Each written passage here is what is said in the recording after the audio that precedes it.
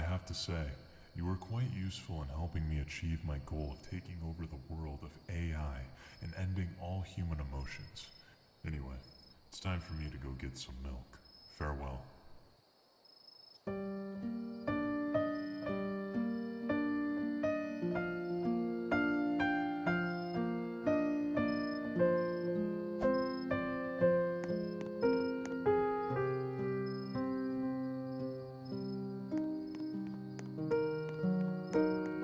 Text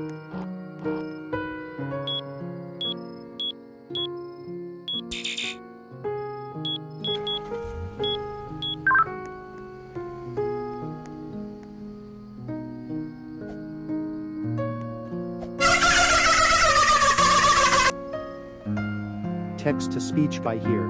That really wasn't sad. But Frontier was crying because his true father just died from drinking the spoiled milk.